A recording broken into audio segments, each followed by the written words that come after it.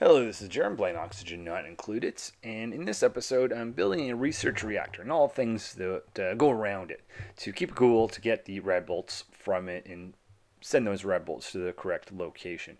Also, in this episode, I'm trying a new way of uh, recording by avoiding fast forwarding. Hopefully, that will lead to better looking videos.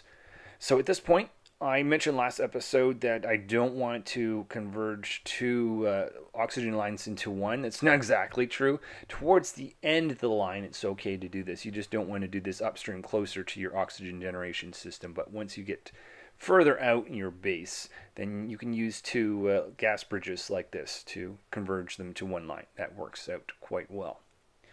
So I have an alert here that I'm out of water in the Desolands. So I'm going to have to aim to solve this. So uh, by the way, I, as I had mentioned earlier, I'm not using the fast forwarding option so much. So I'm hoping this looks a little bit better at the end of this video.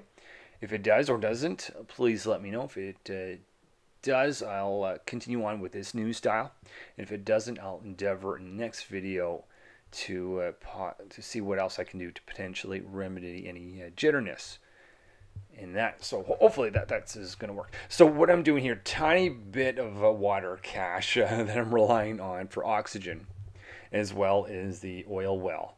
So that is not great, but ultimately I wanted to get ox or water from the homeworld to be supplied here through an interplanetary launcher that's going to be in the homeworld. But I need rad bolts the homeworld. That's why I'm building this uh, research reactor. Okay, so that uh, that tube should be fine with that small bit of cache of water as long as I get this thing construct. Everything inside here, by the way, including these liquid vents, have to be made out of steel. Another alert here. Uh, this uh, this tube here is running out of oxygen. Let's uh, get them land. Luckily, they're not far from the uh, home world, so they can land very quickly and get off that rocket and get access to some oxygen. Uh, that is due to the fact that they have run out of algae which I don't know if I've got a whole lot of algae to replace it with, but it's possible they've got enough data banks that they don't need to uh, go back up for any time soon. And I can also store a tiny bit of oxygen inside the pipes inside the rocket, so if I need to go up a little bit to get a few more, but I don't think I'll need to worry about data banks anytime soon. So power system here. I have actually uh, a shut off that is connecting power to only the Radbolt generators. I have a radiation sensor, and that's saying only give power to the Radbolt generators if you actually sense a significant amount of radiation. There's no point running them otherwise. This system here is not going to be running 100% of the time. So I'm going to have a bigger uh, research reactor uh, constructed. I'm going to call that one, the future one, a nuclear power plant. But this one's just a mini research reactor facility. It's uh, it's going to have to shut off every now and then when things get too hot I'm going to create a, just create a system on top of this to keep the top of the steam turbines cool because they need to stay well below 100 degrees to keep operating. But that's going to recycle the water so that I can use the water for cooling. The research reactor can also use the water for uh, for uh, well going to the input of it as well, so it can go in a cycle instead of continually applying new water to it. So this is the enriched uranium line. This is going to be important how I control this. I do not want to just fire all the enriched uranium in there because what will happen is the research reactor uh, you'll never be able to turn it off once you put, load it up with material it will have to burn itself out so if i can control the amount of enriched uranium to be a very small amount over time any given time that the research reactor is too hot, I can say, hey, shut that off, stop pl- supplying that with uh, enriched uranium, and allow it to uh, cool down before you add any more. So that is that is uh, the logic I'm going to aim to put in there. All right, at this point, I'm going to start the process filling these liquid reservoirs. One of the things you absolutely do not want to have to uh, happen when you have a research reactor is run out of water. That's why I've got several liquid reservoirs water going in there, and I will not start it to uh, let it operate until they're all full. because if you don't, you start the process, you don't have water going into it, you can get a meltdown. And that uh, that causes damage everywhere. Is excessive amount of radiation we don't need. So I'm aiming to do that. Also got a cooling line on the right, and that is where actually the water line going down, and the two left is the cooling line. This is going to be uh, brine. Actually, I was going to think I was going to create an aquatuner inside that uh, chamber, but I don't think it's actually necessary. I'm just going to use the brine line here. This is what is cooling the farming system, the sleet wheat. But that's good enough for cooling the top of the uh, steam turbines. The idea is I'm going to have a temperature sensor in the that, which is actually the same one that I have on top of the the um, aquatuner and that's going to say, okay, is it a certain temperature? Let's say 50 degrees. If it's 50 degrees, throw some cooled uh, brine through it. So they're going to say if the temperature's above 50 degrees, uh, I'll have the water go through it. Otherwise, the water or the brine can skip it. On the Desolands here, things are are not looking good water-wise. I'm not recycling my water in my in this washroom, which I had planned to do. I stopped uh, doing that because I was saving the polluted water to go out of this system for the use of the cooling line. You notice that I've got a lot of polluted water. That's all the polluted water that came from the dupes. So that's not from a geyser or something like that. That's actually right out of the washroom, showers and toilets and everything. Anyway, doesn't uh, doesn't matter. But I've been saving a little bit of polluted water here. So if I just build a sieve and feed that into it, I can push the water down, and I will uh, put that in an infant or in, in a in a system that will essentially be able to maintain the water with uh, going forward in the washroom without ever have to adding more water by the just by the fact that it cleans itself. This keeps going off and it's annoying me. It's uh, it's because water goes in, water goes off, and every time it goes off for just a moment, it stops the game. So that's why I talk, took the pause and zoom off. Now, all right, actually, now that it's full, I think I might be able to uh, get away with uh, re-adding that alert. So I'll tell it to zoom to this location, pause, if that ever happens again. Alright, so this rocket has arrived and I'm starting to direct oil to uh, go back to the uh, homeworld there for processing. That's going to be turned ultimately into petroleum, then plastic. And then I'll be able to reload this rocket with water, send it back and I'm also uh, going to get oil from the interplanetary launcher as well. Just having a look at the temperature of my home world here, it's quite cold. I normally don't have this problem. It's usually the reverse. It's because I've got two water geysers, or one, uh, I shouldn't say water, but polluted water and brine geysers that are producing a lot of cold liquid, which is not a bad thing. Um, so I might actually have to build a system not necessarily to heat it up, but to oh, okay, this guy's stressed. Yeah, let's send him to uh, remove his skills. He had the Mechatronics engineering skill, and uh, I should have gotten rid of that a while ago. He only needed to build it a little bit of things, but uh, yeah. So that uh, that's going to provide oil for for my home world, and then I'm going to uh, send it back with water, but I'm going to aim to build an interplanetary launcher with the rad bolts that I'm generating here. But the first thing I want to do in just building some rad bolt reflectors is have this uh, directed towards a new room. And this is going to be the um, advanced uh, material or the material research station, the new location of that. Okay, so for the dupe over here that doesn't have running washroom, I should at least give them a no host for the time being once this uh, is all set, I'm going to make sure that the, the rad bolts go into the direct uh, or the correct direction. So they're going to go towards this new room here. I uh, have yet to build the actual material research uh, station, but I'll do that in a moment. Just going to make sure that the this room is fully segregated from the outside of the base and there's no leaks out into space. And then I'll put that in there and point the rad bolts towards it this rocket over here. Let's uh, turn this system off. So this is let that that is what has let the oil out. The oil is now empty. I can now direct water to go into it, and when that's full, I will send it back to the Desolands so they'll get their desperate, desperate supply of water because it's going to take a little bit longer for the the uh, interplanetary launcher to be completed.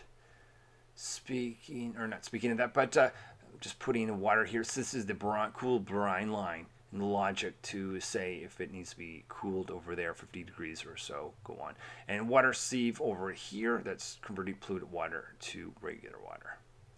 Speaking of the interplanetary launcher choosing to uh, build a location for that. I'm going to put that here and this is going to transport water to the Desolands. Because the Desolands well I was going to say it doesn't have a water source. That's not entirely true. It has a steam turbine. I could get uh, drive water for that. I do have a cooling system and I've done it before, but I've got tons and tons of water here and working with the uh, hot water or the steam um, geysers is a lot messier.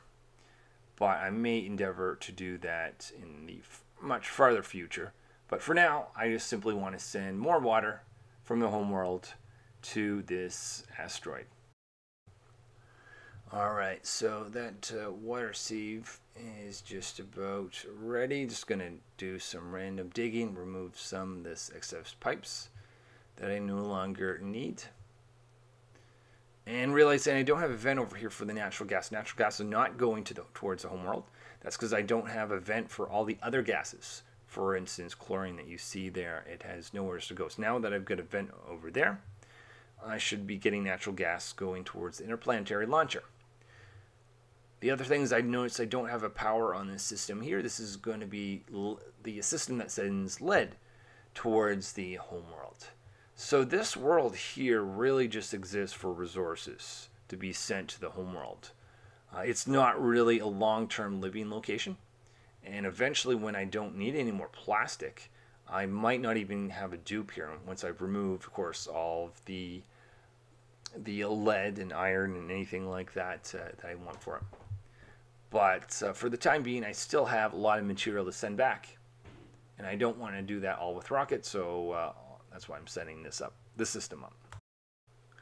Okay, so I see some water going into this rocket that's going to be going to the Desolands. I also have this new interplanetary launcher on the homeworld. I already have that uh, that system in the Desolands because it's already been sending oil there, but I haven't had it here sending water to the Desolands and just also got a material research uh, station there that is uh, that's going to be receiving radbolts as well. A new location for filtering water or water desalinators so that is going to convert the salt water to regular water just adding to my supply of water temporarily because that uh, well there is a geyser there but i'm not going to reply on that so now you see lead heading towards the interplanetary launcher and that is going to give me more access to uh, lead in the homeworld.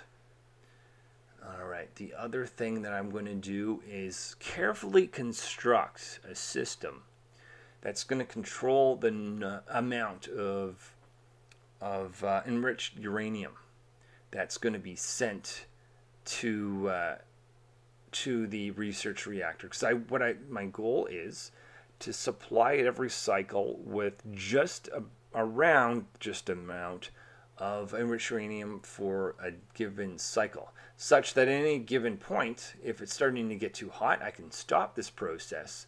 It will run out of fuel naturally rather than have a meltdown. Much rather than have that. So I'm going to have two bins here. Two, one bin that's between the sweepers. That is just going to have a kilogram maximum of material. And the bin on the left, can the dupes can put in as much enriched uranium as they want. Uh, of course, this is going to need power. And there are going, there's going to be two cyber clocks.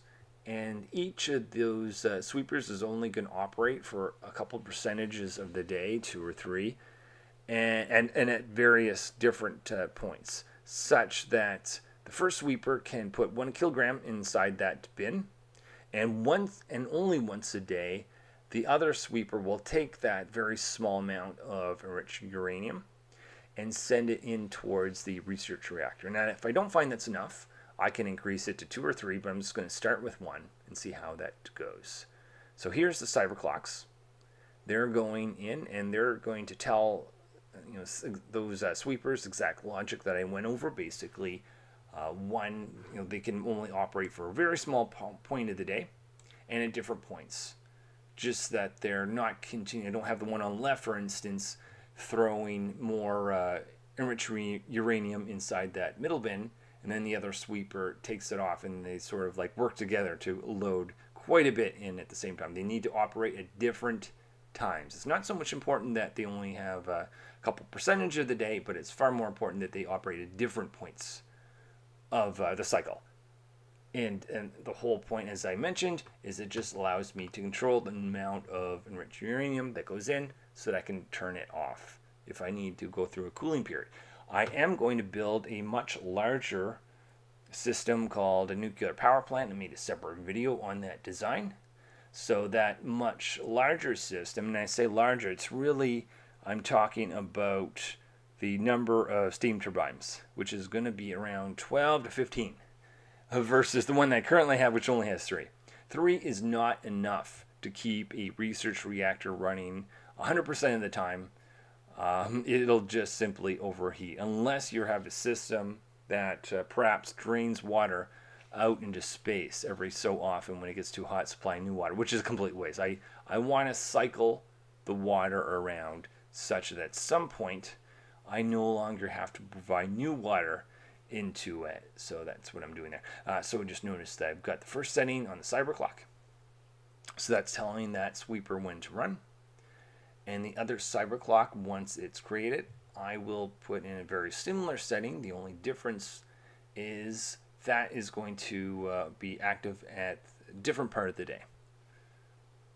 So if I go in, uh, just wait for that automation. So I'm just going to uh, copy copy the settings because it'll be same but number of uh, 2%, but I'm going to run at the opposite point of the day. It doesn't really have to be exact opposite. It could be one after the other as long as there's a little bit of gap between just so that the two don't run at the same time. All right, the other thing is that middle bin, make sure that uh, the dupes don't have access to it. So I actually might need to make changes, but this is where I was storing enriched uranium. I've got five tons of it so far, which is nice.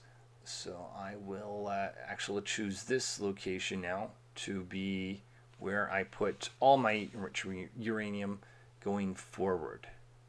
I also have logic here that tells this rad bolt reflector when to operate. The idea is it's going to sort of siphon the rad bolts towards the towards this research station when it's needed, but when it's not needed, it can bypass it and go to the interplanetary launcher. Eventually, it'll also go towards the, the rockets that have rad bolt engines, but I don't have the research for that yet, so that is a later on type of thing. So that uh, all this metal, unfortunately, I should have been sending more of my lead to the homeworld earlier because everything I construct is made out of copper. But I've got tons and tons of copper, so I'm not uh, not too worried. I'm just putting NOT gate here, realize I don't have the right logic I want to put this system through NOT gate indicating that basically turns turn it on when I'm actually in need of, uh, of rad bolts inside this machine. It sends a true signal when the machine is full, which is kind of the opposite of what I want. Since, hence why I've got a NOT gate to be uh, installed at that location by one of my dupes. You can see my desalinator is operating and it's now taking uh, more water into my overall system and I'm using quite a bit of water at the moment for the research reactor for the oil well in the Desolands interplanetary launcher and that so that is actually helping quite a bit now that I've got a second source of water. In uh, this world here, I just built this wall just to prevent my dupes from accessing that bin. And I've got three tiles, as long as I destroy this ladder here. So that bin is uh, no longer going to be accessible by dupes, which is by design. So only the sweeper can access it and the sweeper will only once a day load enriched uranium in.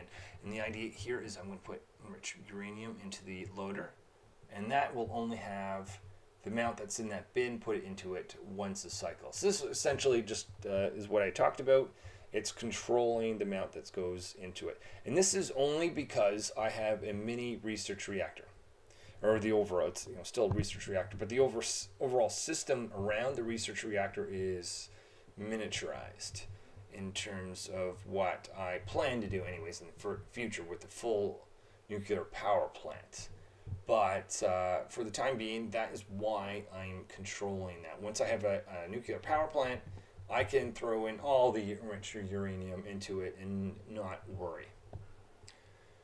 All right, there. Just realized that drywall is hasn't been built because the did not have access to it. So I'm just gonna allow them to have access to it, construct the drywall. And I'm gonna turn off this system here because I've got enough water sitting on top of uh, the steam turbines. All right, so drywall has been installed. Let's get rid of these two uh, things here, making the way for the third steam turbine that uh, that's going to keep the research reactor cool. And I've got two of my three water uh, reservoirs full or liquid reservoirs full. So we're in a good situation. I believe now I can actually close off this room and have that uh, start to operate very soon. So it's just, uh, it's just a matter of giving it some water making sure the enriched uranium is uh, is dropped off and that should turn on producing quite a bit of radiation and I can put on one of those Radbolt generators to make use of that. The dupe here is bored. I don't like it when dupes don't have anything to do so how about we endeavor to find out something. Um, they are they're possibly going to be running out of water. There's small little cache here. Let's just throw in a pump. I'll make that out of iron. Actually, you know what? Hold on. Why don't I just dig down to the pump that already exists down there? That way they don't, they don't even have to install anything. They just have to let the water drop. And that will go into the oxygen-based system. As well as the oil well, if there's any excess amount of oxygen. Alright, I'm hoping that will be enough until the this interplanetary launcher can go live. But I also have this rocket that is being loaded with water as well. Let's have a look inside. Uh, almost one liquid reservoir filled with that. And when that is full, that will also go to the Desolands and give them a supply of water. All right, let's see over here. Slowly getting this filled up. Notice that I don't have the water line going into the research reactor connected yet, because if it did, it would start to operate and I want to uh, wait until I've got enough water. That may be enough. Perhaps we'll just wait for a little bit longer, for a tiny bit more water to go in there. Let's just get rid of that old temporary automation. Uh, oh yeah, steam turbine. Let's put that in. I want, definitely want to have that in existence before the research reactor turns on. When the research reactor turns on, you'll actually get a bit of water instead of steam. But over the long term, I'll uh, be able to, uh, or that water will fully turn to steam. Notice that I've got that shaft door. I don't believe I mentioned that. That's for the nuclear waste. I even have that automated. I was thinking about doing that manually with a manual sort of uh, switch. But the idea there, if that detects an excessive amount of, of uh, nuclear waste, it will dump it out into that square below. So that's what that's about in the home world here, I'm just going to build a little channel there just to slightly reduce the amount of water uh, oxygen waste. Though I'm going to put a water channel for them to dip down at some point. Okay, possibly because I've had so many things to do here in the homeworld, I've never actually completed the line that sends natural gas towards the gas range. And the first bit of natural gas has arrived from the interplanetary launcher from the Desalin, so that's exciting. So I'm going to complete the line that goes from here to the uh, natural gas line at the bottom that feeds into the uh, gas range. I don't want that connected. And just need a tiny bit of pipe down here to uh, complete that. And that will give me two sources of natural gas. One that comes from Desolands and the other that comes from the oil refinery. So this whole oil production actually produces quite a bit of natural gas, which is excellent because I don't have access to a natural gas geyser yet. I do have an asteroid in mind uh, that, that I know has access to it. but I'll do that in a future episode. So this is a big moment. Water is going to the nuclear or to the research reactor that is being operated for the very first time, producing quite a bit of radiation, and that is excellent. Okay, surprised by how quick things have heated up. Uh, tense amount of radiation right away. I knew that was going to be instant. I even have a rad bolt generator uh, turned on, and that's going to be directing the rad bolts towards the research station. Actually, let's watch the first one make its way towards uh, towards that. And there we go. So I actually can destroy this one here. And destroy this, uh, all the old, uh, old equipment here. And what that, what I'll be able to do from this point is be able to have a lot more research happen uh, far more quickly, quickly uh, than before because of the intense, intense uh, radiation, rad bolt generator that I have access to. Let's cap this episode off with the interplanetary launcher that is also being uh, fed by this new mini research reactor station. Uh, just, just double checking that that lines up with the output for it. It does. Okay, so otherwise I would have had to put a oh there it is. A Rad bolt is being fired towards it and actually uh, feeds in, but that has nowhere to go and no equipment or, or no water line into it yet. So I'm going to tell it to go to the Desolands and send water or build uh, that water line going into it so it always sends water to the Desolands and that water will be used for oxygen for the dupe that's there. Okay, and I just realized a little thing. Now, when oil is falling down, it's going to actually fall on top of the interplanetary launcher. Not a big deal. It's just I didn't really think about this uh, too carefully.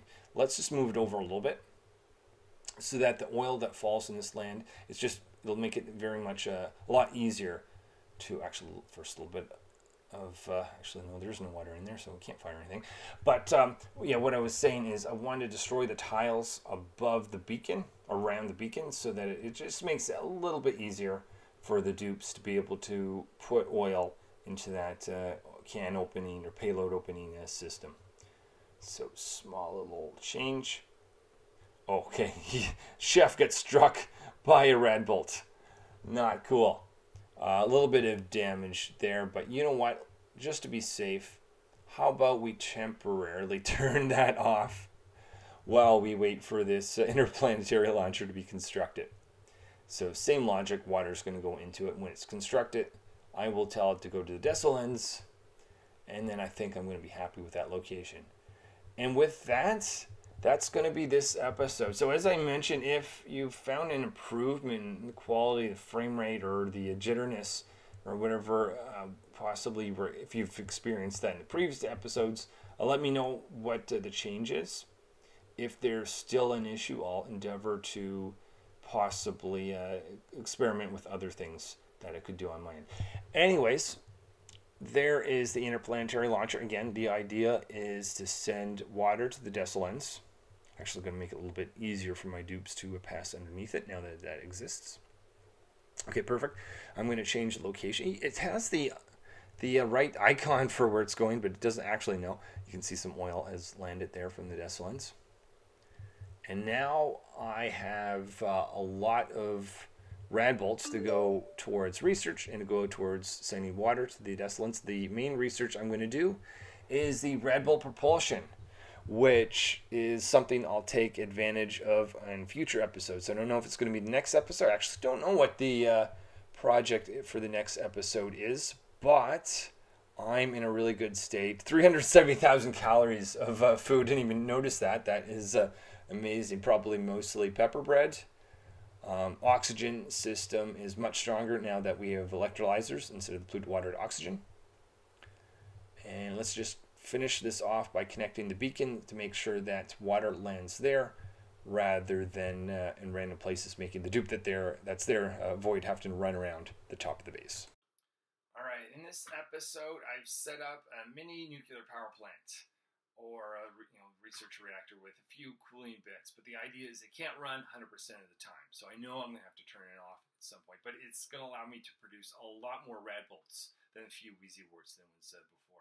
This next episode, do I construct the full nuclear power plants? Do I go after wild Sleet Wheat or something completely else? I do not know. If you want to know, join me in that episode, like, subscribe, and see you then.